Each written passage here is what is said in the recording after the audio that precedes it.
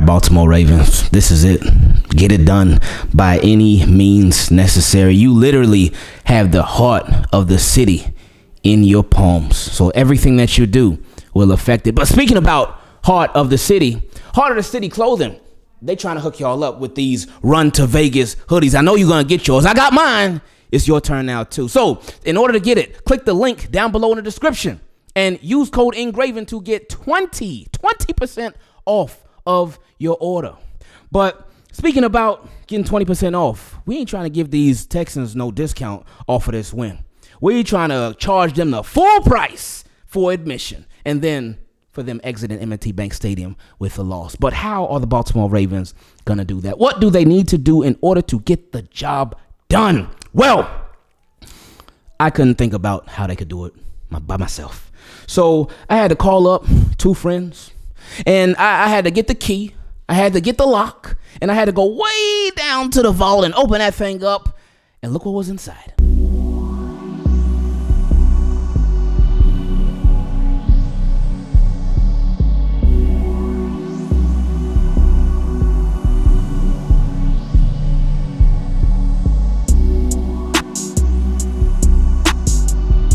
Team Keep It Clean, two very extremely special guests in the building. They were voted both locally and nationally as Baltimore Ravens content creators' best guest guest getters because they get the best guests in the world. Uh, this is Bobby Baltimore, Sarah Ellison from the Vault. Y'all already know who they are because y'all done seen them literally everywhere, doing everything, talking to everybody. But they've taken the, their time to come on here to speak with us and team keep it clean about these Baltimore Ravens. How y'all doing today? I think I'm doing better than Bobby. Mm. Oh yeah. yeah, well, I, I, guess we better take everybody in behind the curtain then, shall we? we, we were supposed to do this. Yeah, we were supposed to do this a couple hours prior, and I tried to give you as much notice as possible. You know, when you have a dentist appointment or any procedure for that matter, and you go in thinking that it's going to be like standard or routine. Like mm-hmm. I, I, thought that that was going to be the case today for a simple uh, chipped tooth from snacking on some nuts earlier on in the week, and I thought it'd just be a simple filling. Well, it was anything but. It was like a full on procedure, crown, temporary crown, Novocaine, and then what Sarah's referring to is yeah, I had some serious discoloration post Novocaine injection. So I look like a freak in the selfie that I sent you guys. Hmm. so yeah, th- this should be a fun one. And I-, I, guess I can ask you some questions that I wouldn't normally ask and get some different type of answers. So we'll see how this thing goes. But speaking about uh, routine, speaking about when things are normal, but they're not so normal anymore. That is the transition from going from the regular season, which is routine. Everybody has to get through that to now going to the playoffs where not everybody makes it. And of course, the Baltimore Ravens, they made it to the playoffs, but they didn't just make it to the playoffs, but they made it as the number one seed. So they've been sitting back while everybody else has been battling it out. And now they have the privilege of going against the Houston Texans. And that game should have all of its challenges. But bottom line, the Baltimore Ravens need to get it done. What are some things that you all have seen from these Baltimore Ravens that let you know and let all of us know that this is the year and they're going to get this job done? Well, I think number one, it starts with the talent. It, I mean, everything else is, you know, supports that and whatnot. But I think the talent, I think that uh, Eric DeCosta put together a roster that is worthy of Super Bowl contention. Uh, started, as you know, Ing all the way back when he first got OBJ, which led to Lamar, which led to, uh, you know, a draft where he got Zay, added Agholor. He's he's added pieces on the defense, guys that are sipping from the fountain of youth. So I think mm-hmm. first and foremost, I think this is the most complete team the Ravens have had since drafting Lamar Jackson. And I think it's more complete than 2019. Second of all, I think that the, the second thing that makes me feel more confident about this team is 2019 and the experience that that was for many guys on this roster, starting with Lamar who were just like it just seemed like it was I don't know, just it just felt like it was going to be so smooth and no conflict mm-hmm. whatsoever. And then they got yeah. punched in the mouth and mm. never was able to recover. And there's myriad reasons for that with that we won't revisit. But that has stuck with them. That sticks with Lamar Jackson, which is why you see him not celebrating a single achievement all year Doesn't matter if you blow out the the Dolphins or the 49ers, like all of it, he acts like he's been there before. Mm-hmm. And it's like it's what we were supposed to do. We've done this before, doesn't matter. The mission isn't yet complete. He is laser focused on the Super Bowl. This isn't just like the most complete we've seen the Ravens in the Lamar era. This is the most complete we've seen Lamar himself. And Sarah, you know, kind of hinted at a couple things there that I think make him the most equipped, well equipped that he's ever been to do what he couldn't do or what this team couldn't do four years ago. And I think when you take a look at just structurally too, what the last couple weeks have been, I know we've spoken about it a lot. We even talked about it, I think, with you on our State of the Ravens last week. They have kept things as routine as possible, right? As as structurally sound as possible, and even kind of bulk things up from four years ago in terms of how they're going to handle their bye, how they're going to handle the regular season finale.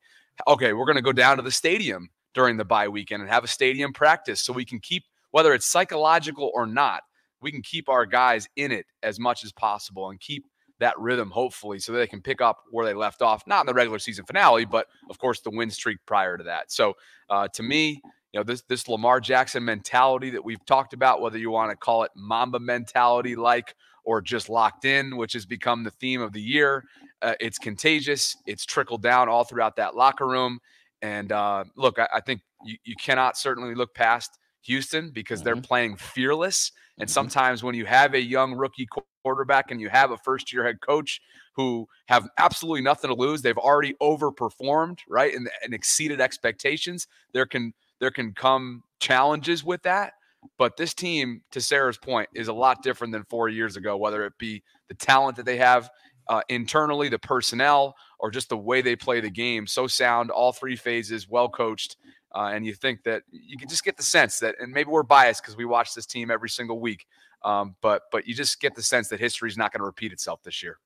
Yeah, for sure. I, I, don't see it repeating itself at all uh, because this team is different. Like you both just mentioned, you spoke spoke about Lamar Jackson, just how he's been focused. Uh, Sarah highlighted it with Lamar Jackson. He he get a MV, possible MVP. Broke he breaks records like every other week. He's always doing something phenomenal, always doing something crazy, blowing out teams left and right, beating great teams left and right. But after each game, you just see this straight face, his smile, maybe a little bit, but nothing too crazy. Um, and as opposed to 2019, I mean, you saw them after every win, they were jumping around, celebrating. And I have a problem with that, and there's nothing wrong with that. But obviously these Baltimore Ravens, they know that the regular season is a regular season, and yeah, be happy about it. But yeah, that's not enough. That, that that's not where things stop. Now with the Houston Texans coming into town uh, against the Baltimore Ravens, what kind of threat do you feel like the, the, the Texans pose to the Baltimore Ravens? I know Bobby, you just talked about it, them being a young team, young quarterback, and they've been playing some outstanding football. But what are some uh, of the uh, threats that you feel like CJ Stroud and those Houston Texans they could pose to all Baltimore Ravens? Oh, first and foremost, just I think you think the way that CJ first and foremost, like the way that he performs under pressure, I mm-hmm. think eh, he's not the same quarterback that that we all saw that the Ravens saw in Week One. There's no doubt about that. But one thing that they did kind of they disrupted him early, right? They got five sacks, a bunch of pressures on top of that. I think that's going to be a key piece of the puzzle for the Ravens but he's just he's just so sound, you know, going through his reads. He's not afraid to pull it if he needs to. So um, I just think that the biggest threat that CJ Stroud and the offense poses is their fearlessness. Uh, but but the Ravens defense can counter, right? They can absolutely mm-hmm. counter. They've got all three all three um, all three levels fundamentally sound and ready to go to handle that. They've got some playmaking injuries, by the way, um, out on the outside for Houston that we'll have to monitor over these next couple days. But that to me is the big, like I said, I think their biggest threat that they pose is their fearlessness and CJ's ability to just he looks like a 5 to 10 year vet in the pocket. He's got great mm-hmm. pocket awareness.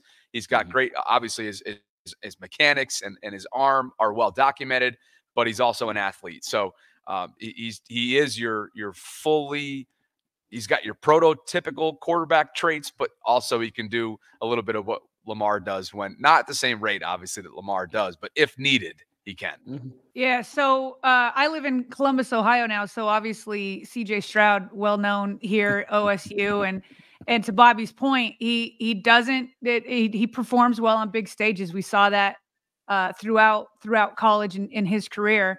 And Lamar Jackson, this is how you know somebody's confident. It's when you can give compliments to other people, right? And mm. so uh, yesterday he was asked about CJ Stroud's first playoff experience, and he was like, "Well, he did better than I did. like he did, he did better than mine was. He just wasn't he wasn't afraid to put that out there. So yeah, to me, um, I don't know that you're gonna rattle CJ Stroud, but I do think you can try to confuse him. And I felt like against this, um, in terms of yards per game, Browns were number one. They started to use the Browns' aggressiveness against them. It's almost it's almost like they knew the aggressiveness was coming. And hmm. so I'd like to see um, I'd like to see Mike Mack uh, do what he's done all year and and disguise his looks, show one thing pre-snap, do another post-snap, and try to show CJ things that he hasn't done before. Now, on the flip side, um, obviously lots have changed, lots of things have changed, and and I remember I think pretty sure Ronnie Stanley got hurt in the middle of that first game, and right now we're in this rotation at, at right tackle, but if Lamar got sacked something like four times and um, there just seemed to be lots of pressure. And so to me, to me, this offense will explode if they give Lamar enough time back there.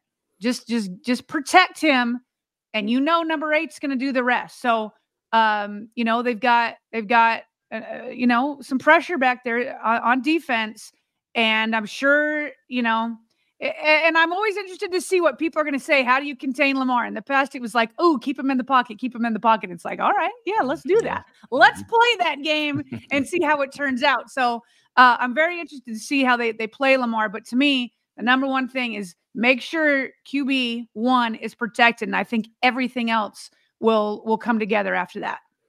Oh yeah, for sure. That that protection is, is everything. And Lamar Jackson is a, a cheat code because like you mentioned yeah teams have said that before and some fans even still say the same thing like oh if our team keeps lamar jackson in the pocket oh we're gonna beat those baltimore ravens. But little do they know or little do they pay attention or little have they seen that lamar jackson in the pocket he'll dice you up. He'll yep. dice you up. You give him time that's a wrap. Like somebody i forgot who it was they, they tweeted a picture and they were like if you see lamar jackson standing like this and there was a picture of him with a clean pocket just standing there, then it's about to be trouble for you. and it's it's the truth because that's that's what happens every time. Lamar Jackson, when he's given time, it's, it's it's game over. So hopefully the Baltimore Ravens they can have a much better outing with the same result as the week one, but a much better outing from the offensive line. And, and this is a much different offense itself than it was in week one. We know the Texans are a much different team as well, but specifically with the Baltimore Ravens, this offense has their leaps and bounds better than they were uh, way back then because that was way at the beginning of the season. Now we're not at the end, at least not for the Baltimore Ravens. It better not be. Uh, but we are at this point of the season, the divisional round uh, in the playoffs. Now, with all that being said and done, with everything that we've talked about thus far, with this game against the Houston Texans, how do you all feel this thing is going to go? How, what do you think the end result will be with the Baltimore Ravens taking on these Houston Texans? Sarah, we'll start with you. Yeah, Bobby and I do predictions. We've done them every week pretty much. Um, it's gotten to the point for me, Ing, and I I remember and I said this uh as long as Lamar is playing, I said this going into the Miami Miami game when you know there's concerns. Say you're coming off this emotional win on Christmas Day in San Francisco. Now you got to come all the way home. You get another team that's, and in retrospect, it seemed like an easy pick. But I was like, at this point, how do you pick against them? Mm. How do you pick against Lamar Jackson at this point with the way he's been playing in December? And so, um, just can't do it. Just just can't do it. I and right. and not only can can I not, I don't think I, I I would even flirt with it. Like I just feel like as much as I respect this Houston team, as much as I respect uh DeMeco Ryans and what he's mm-hmm. done, as much as I respect with CJ Stroud and what he's doing and how his uh, career trajectory is pointing all the way up, as mm-hmm. much as I respect all that, I just don't see how you can look at this Ravens offense and this defense and, and look at what they did to San Francisco and look at what they did to the Jags and look what they did against Miami and the way they've just been clicking uh, to me, uh, the Ravens are going to win this. And I think that Lamar uh, showed yesterday when he was asked by Gerry Sandusky, hey, you guys have scored just, to, uh, you haven't scored more than 20 points uh, in your four playoff games, what do you what is your hmm. confidence mm. level? Wow. And Lamar is like very confident. Very, very confident, extremely confident, you know, and it's like this guy, this guy's about to go off. So I I see something in the 31 uh, to 24 range Ravens. Okay. Bobby, how you feeling about this game going up against the Texans? I'm going 30 to 20 Ravens. I think okay. it's going to be it's going to feel a lot closer. I think it's going to feel a lot different than it did in week 1. I think that DeMeco Ryans, having watched his press conference, has a tremendous amount of respect for Lamar and what this offense commands, but being that he's so not far removed at all from his playing days, I think he he's a leader of men and he's got those guys humming in that locker room, but they understand like what what you need to do in order to contain Lamar. Well, they understand how to do it. It's another t- another thing to execute that, and he's just playing at such a mm-hmm. such a rate, such an MVP level that uh, they go as he goes. We've seen that throughout this year. We've seen that throughout the Lamar era, and now we finally get to see in January what the investment uh, means that they made, the front office, putting playmaking ability around him. Hopefully, something they continue to do as needed uh, throughout the next mm-hmm. five years. But we finally, after last year, we saw Mark Andrews lining up on the outside. We finally get to see a heavy dose of playmaking ability for Lamar. Let's see what he does it in January. Primetime audience, 4:30 ESPN, inside the bank. You've had the bye to get yourself right. Uh, you, you've won the division right? You've had a chance to to watch, I'm sure, a bunch of Houston tape from week one, and also the way that they've mm-hmm. evolved and morphed into this playoff caliber team that nobody saw coming. And I think all that, you know, look, would not be. Don't get me wrong, I would not be surprised if if if there's some, I don't want to say rust, but some struggles out of the gate. But I think that they learned from four years ago and they're able to overcome that, much like they have with every narrative that's been attached and labeled to this team, whether it's Lamar or the Ravens can't come from behind or whatever that is. They've shattered every single one of those, and I expect them to shatter the whole Lamar postseason narrative on Saturday. Man, you both made some really, really good points. Bob, you just talked about how the Ravens have uh they've crushed a lot of the narratives that have been put out there about them. And Sarah, you mentioned earlier um, just with the Baltimore Ravens, how they've shown like uh, before there may be some worries off of them coming like off of an emotional game, uh, like the one against the 49ers. I, I remember I was thinking it uh, that's why I was a little like, ooh, a little shaky about the, the game that they played after the Rams game because I'm like, man, that Rams game was just crazy, just draining for for us as fans. While we watched, it was draining for us. So I can't imagine the players being a part of that and just going through that emotional roller coaster from the what third and 18 or third and 17, where Lamar hit Zay Flowers for the touchdown, then the two point conversion that followed that, but that not even being enough because the Rams drove down the field, kicked the field goal, then they went to overtime. And then just the craziness and the Tylan Wallace punt return for the touchdown. I was thinking, man, that the Ravens won that game. So if coming off of a game like that, I get it. I get it. If they lose, I don't want them to lose, but I, I would understand. But they didn't. Like the Baltimore Ravens have been a completely different team this year, and we've seen them operate just at a completely different level. So hopefully, in this game against the Houston Texans, that will do nothing but continue. Vault. Sarah, Bobby, appreciate the both of you's time. Appreciate the both of y'all coming on. Team Keep It Clean. I already know y'all know who both of them are. But if you don't, for some reason, if you've been living under three rocks, then I'm gonna uncover those rocks for you. Subscribe to their channel. It's every everything is down below in the description. I will have both of their Twitters down below in the description. Everything, their YouTube channel, their Twitter, their podcast, all that good stuff down below in the description to make it easy for you. But I know that you know who they are already. Appreciate the both of you's time. Thank you both for coming on. Any closing remarks before we get out of here? Hey, we love you, Ing. You're the GOAT here on YouTube. We appreciate all the love and how welcoming you've been since we started our channel. Uh, you you kind of like let you lead the way on YouTube. We're always watching you and we appreciate your inspiration. I appreciate y'all for sure.